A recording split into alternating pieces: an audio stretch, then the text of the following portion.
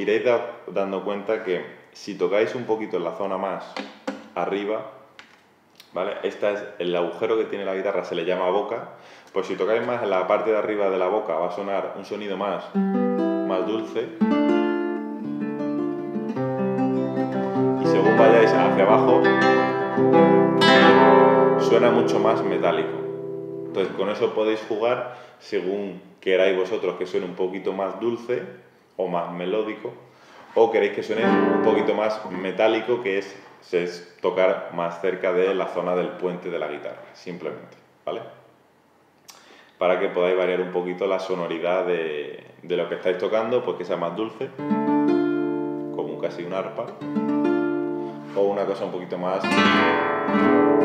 más metálica, de sonido más, más duro, se podría decir, ¿vale?